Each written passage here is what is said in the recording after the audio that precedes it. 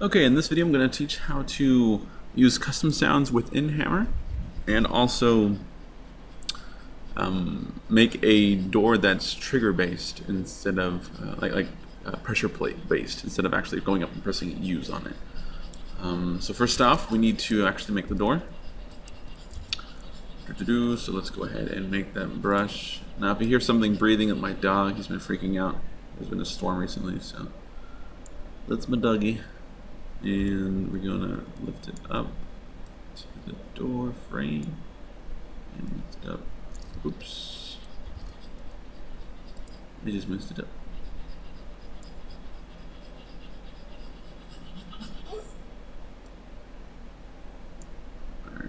line up?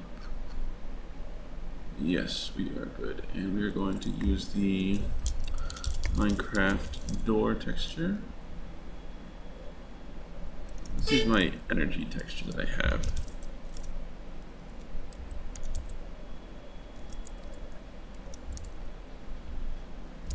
Door. There we go. Enter. Now we are going to this up 128. We want to rotate it.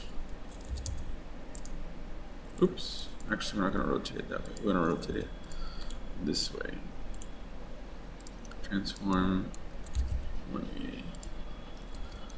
okay so we have our door. Voila. Let me extend this out. I'm actually using a, a part of the um, AdventureCraft map to do this. So we have our door. Voila. So now this is actually just going to be a funk brush. We're not going to use func_door or rotating door or anything like that this is just going to be simply a hiding and revealing type door. So we're going to name this door 1 open. Oh, actually, this is closed. And this is going to be, we're going to leave it on toggle because we're going to make it go away and come back. And it is originally a solid file, solid brush. I'm going to start like that. And all right, we are good. And we need to make a copy of this. Let's duplicate that right there. We are going to rotate this 90 degrees and place it right there. Alright, so we have that door, and we actually need to edit this, Control T. Oops, I didn't need to do that. Um, make this func_brush as well. Actually, we're just going to copy everything from the other one and copy paste it onto there. We're going to name this one door open. Now we want this to also be toggleable. Um, it doesn't really matter actually. You can put never solid if you want to, but get not solid, and this one's actually going to start disabled, which means that when the map loads, you won't see this door. You'll only see this one. Apply that, and we are good. Okay. So now we need to make the actual pressure plate. So we're going to do this. 40 by 40 pressure plate. Oops. We need it to be small. We're going to have it be about two units tall. It's probably decent size. And we need to do use the wood texture. Let's use this basic wood texture. I know it's not the same texture as these guys. I mean, if, if you guys really want to, just use the same texture. Apply it there do have to rotate this. There we go. Alright, so we have our pressure plate. Now we wanted to have it on both sides in case somebody's coming in or coming out. So we're going to copy it and we're going to... Now you saw me copy it onto this surface. When I do that, it puts it at the same height as the other one. That way you don't have to bother like placing it in the right height. So I just pasted it onto the same surface and moved it over. Easy. So now we have these two, they line up properly. Alright, so we have the pressure plates. Those are just going to stay there. We're not really going to bother with making them any triggers or anything or make them move. You, you can get fancy, make them be like a, a button or something and have it move and all, but that just becomes a hassle because you don't need to time the button correctly and everything. And in Minecraft, it's all just kind of instant when they walk onto the actual um, button. So now we need to make a brush area, an area where they're going to walk into. And we're going to have it be, it doesn't really matter what size it is, just as long as their feet are going to go in there, because it's when they walk on it, it'll open automatically. And we need this to be the trigger brush, just so it's not drawn when in-game. We don't want to see this brush when we load the game. And we need to make this a an entity, so Control T, and we're going to call this a trigger multiple. A lot of things are going to happen at this point. It's going to happen lots of times. So this is going to be called door one trigger, and it's going to start enable. So we don't have to unlock this door anytime in the map. Um, later on, we're going to deal with how to do objectives, I guess you could say. Like TTT and enabling a TTT tester, things like that. Anyway, so first we need to make it to where when the player touches this brush, that it's going to make this door disappear. It's going to disable that door. And another, so we got that, that's done.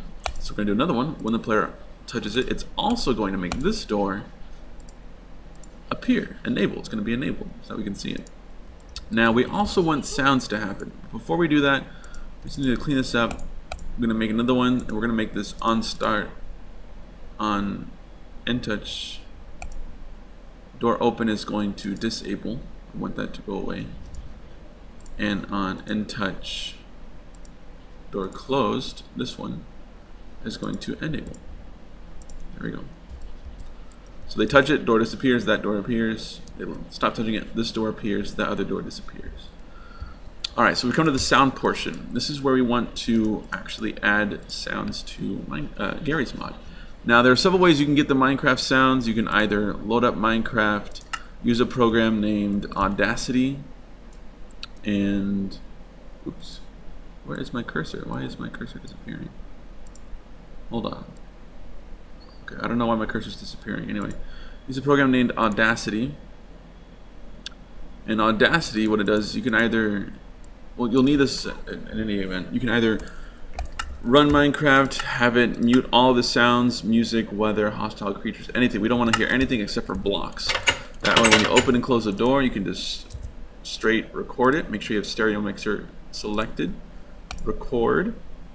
And then you just play these sounds stop recording and then you can kind of zoom in here and if we only want to oops oops oops oops oops oops if we only want to grab one of these sounds we would just use this tool select the sound copy new paste that way we have the door open sound and we would export it as a WAV file. Now, Hammer only reads WAV files, so we need it to be WAV format if you were to get it directly from the Minecraft directory, um, whatever version of Minecraft you have, I, I think they've it made new sounds recently.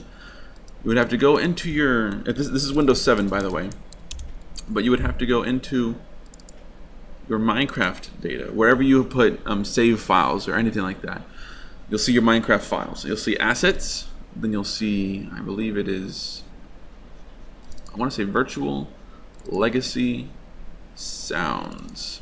And within here, you'll find music, notes, portals, random, all this kind of stuff. I don't quite remember where the where the door sound is, but just look through here. I'm sure you'll find it at some point.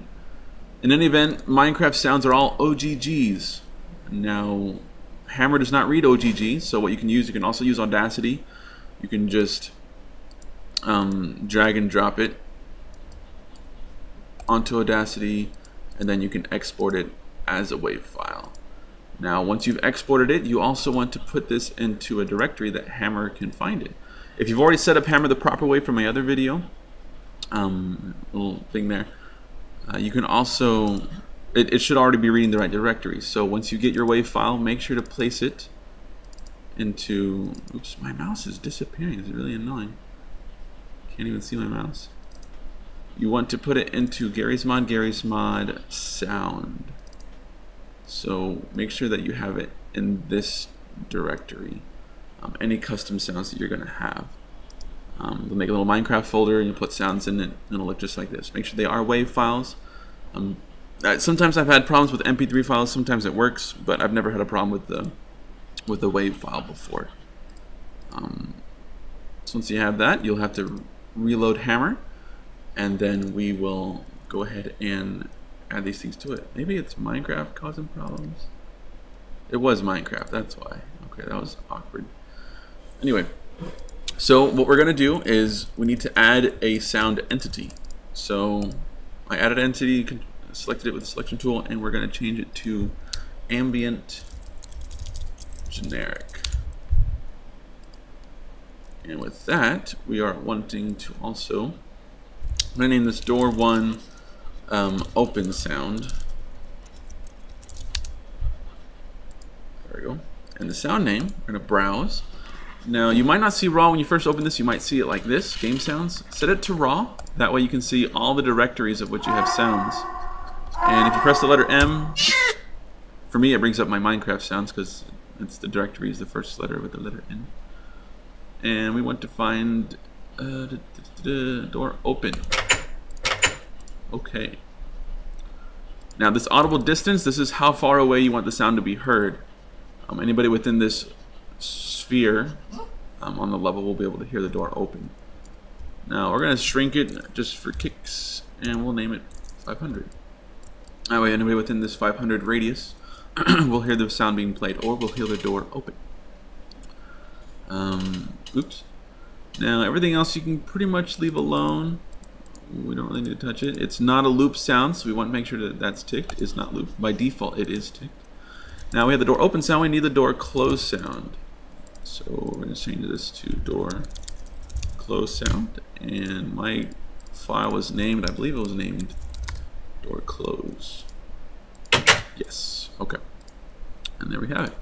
So we have the two entities there. Now we need to make the trigger play those so um, sounds whenever it's opening. So on start touch, when the player touches this brush, we want it to play the door open sound via play sound. There we go. And when the door leaves the brush, when they stop touching this brush, we want it to play the door close sound. Play. And there you have it. That should be a complete door. So let's go ahead and load up Hammer and see if this works.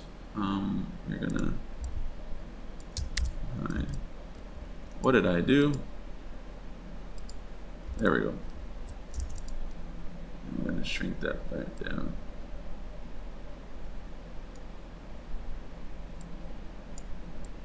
There, now let's back to normal. Okay, so we are ready to run it. Let's go ahead and compile the map.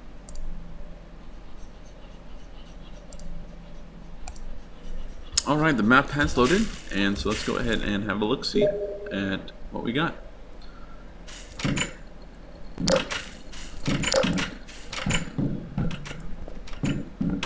There we go.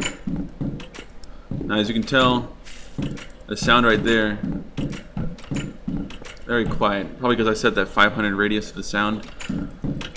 And probably fix that. Also, the sounds that I placed it here and here, probably can't hear it that well because these walls are blocking out the sound.